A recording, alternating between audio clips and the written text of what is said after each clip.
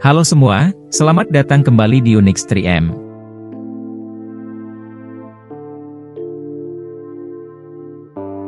Selama beberapa dekade, Afrika Selatan berada di bawah serangkaian undang-undang yang membagi masyarakat berdasarkan ras. Sebagai akibatnya, kesenjangan sosial antara kulit hitam dan kulit putih di Afrika Selatan menjadi salah satu masalah sosial yang paling kompleks dan sulit diatasi. Masalah ini telah berlangsung selama berabad-abad dan akarnya dapat dilacak kembali ke masa penjajahan oleh bangsa Eropa. Mulanya, Afrika Selatan dihuni oleh suku-suku pribumi yang hidup berdampingan secara damai.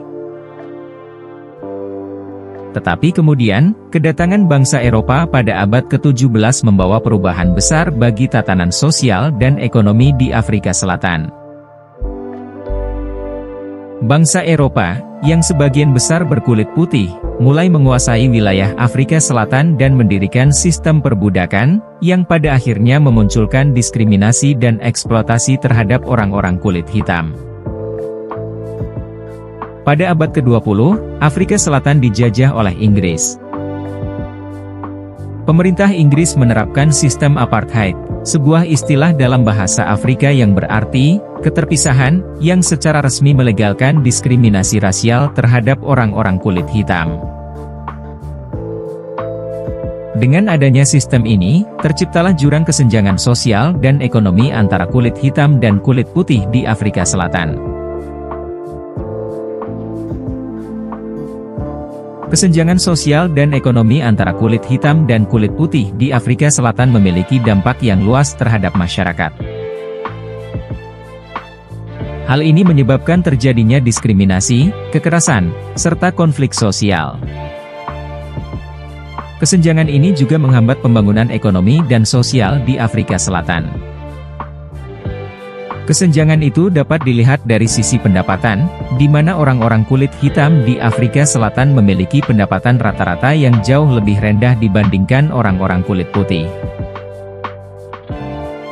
Pada tahun 2022, pendapatan rata-rata orang kulit hitam adalah sekitar 3 ribuan per bulannya, sedangkan pendapatan rata-rata orang kulit putih adalah sekitar 10 ribuan per bulannya. Selain soal pendapatan, orang-orang kulit hitam di Afrika Selatan memiliki akses yang lebih rendah terhadap pendidikan berkualitas dibandingkan orang kulit putih. Hal ini menimbulkan perbedaan yang sangat besar dalam tingkat melek huruf dan keterampilan antara kedua kelompok tersebut.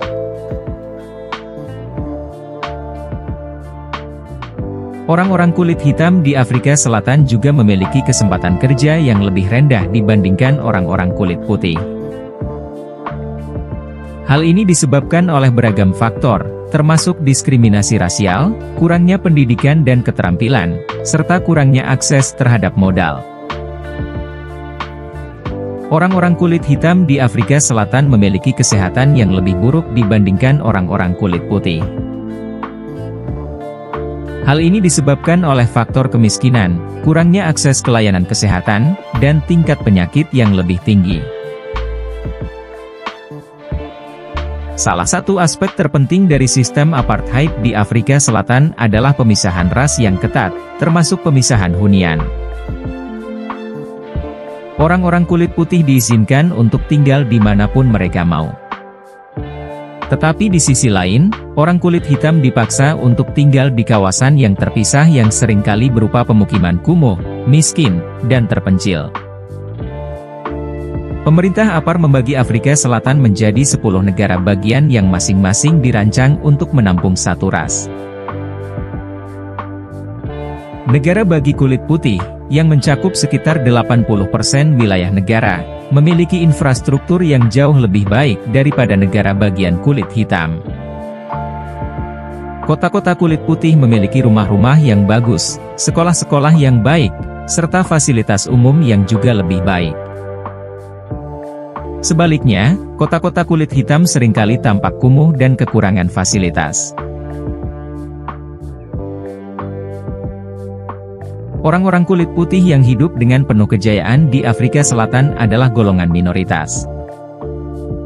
Kendati demikian, mereka memiliki kekuasaan dan kendali yang tidak terbatas. Minoritas kulit putih yang mengendalikan pemerintahan APAR adalah Afrikaner, yaitu keturunan sebagian besar penjajah Belanda yang telah menginvasi Afrika Selatan mulai abad ke-17. Meskipun penindasan Afrikaner terhadap orang kulit hitam Afrika Selatan telah mendahului pembentukan resmi apartheid pada tahun 1948, tetapi apartheid telah melegalkan dan menegakkan ideologi rasial tertentu yang memisahkan orang Afrika Selatan menjadi kelompok ras yang berbeda secara hukum. Tentu saja, orang kulit hitam Afrika Selatan menentang apartheid sejak awal. Pada sekitar awal tahun 50, Kongres Nasional Afrika meluncurkan kampanye pembangkangan. Tujuan kampanye ini adalah agar orang kulit hitam Afrika Selatan melanggar undang-undang apartheid dengan memasuki wilayah kulit putih, menggunakan fasilitas kulit putih, dan menolak membawa izin atau paspor domestik yang digunakan pemerintah untuk membatasi pergerakan orang kulit hitam Afrika Selatan di negara mereka sendiri. Namun demikian, sebagai tanggapan, pemerintah melarang kongres tersebut pada tahun 1960 dan menangkap aktivis terkemuka, Nelson Mandela, pada bulan Agustus tahun 1962. Beruntungnya, pada tahun 1994, apartheid telah resmi dihapuskan di Afrika Selatan. Hal ini butuh waktu puluhan tahun aktivisme, baik dari dalam maupun luar negeri, serta tekanan ekonomi internasional untuk mengakhiri rezim yang memungkinkan minoritas kulit putih negara itu menaklukkan mayoritas kulit hitam. Upaya ini memuncak dalam penghapusan apartheid antara tahun 1990 dan 1994. Pada tanggal 27 April tahun 1994, Afrika Selatan memilih Nelson Mandela, orang yang telah menghabiskan 27 tahun di penjara karena penentangannya terhadap apartheid. Nelson Mandela terpilih sebagai Presiden Afrika Selatan pertama yang berkulit hitam. Begitu terpilih, Mandela memulai upaya untuk mengurangi kesenjangan sosial dan ekonomi antara kulit hitam dan kulit putih. Kendati demikian, usahanya tidak pernah berjalan dengan mudah, sebab masalah ini telah berlangsung selama berabad-abad dan telah mengakar kuat di masyarakat Afrika Selatan. Terdapat beberapa upaya yang telah dilakukan untuk mengatasi masalah kesenjangan sosial dan ekonomi antara kulit hitam dan kulit putih di Afrika Selatan. Upaya-upaya ini di antaranya adalah pembentukan Undang-Undang Anti-Diskriminasi. Pemerintah Afrika Selatan telah membentuk undang-undang yang melarang diskriminasi rasial berbagai bidang, termasuk pendidikan, pekerjaan, serta perumahan. Pemerintah Afrika Selatan juga membentuk berbagai program pembangunan guna meningkatkan akses orang-orang kulit hitam terhadap pendidikan, kesehatan, serta kesempatan kerja.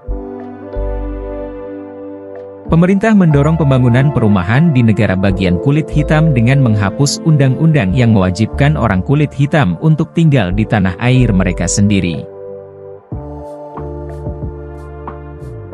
Pemerintah Afrika Selatan juga mendorong pemberdayaan masyarakat kulit hitam untuk meningkatkan partisipasi mereka dalam pembangunan ekonomi dan sosial. Namun demikian, kendati upaya-upaya ini telah membuahkan hasil, tetapi masalah kesenjangan sosial dan ekonomi antara kulit hitam dan kulit putih masih belum sepenuhnya teratasi. Masalah pemisahan hunian, misalnya, masih belum sepenuhnya teratasi. Demikian ini karena masih banyak orang kulit hitam yang tinggal di daerah kumuh dan kekurangan fasilitas. Di sisi lain, masih banyak juga orang kulit putih yang tinggal di kota-kota kulit putih yang kaya raya. Dan ini berarti bahwa, kendati apartheid telah resmi dihapuskan, nyatanya masih banyak yang harus dilakukan untuk mengatasi masalah ini secara menyeluruh serta berkelanjutan, agar Afrika Selatan menjadi rumah bagi bangsa yang penuh keadilan.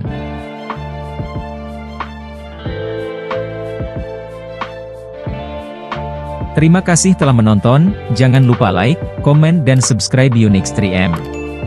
Sampai jumpa di video selanjutnya.